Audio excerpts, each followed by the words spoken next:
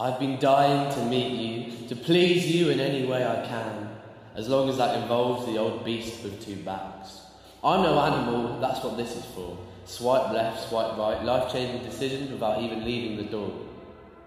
It's a miracle of technology that I can say to another human being, like my face, understand me, be my little red flame. On my screen, it until I'm alone.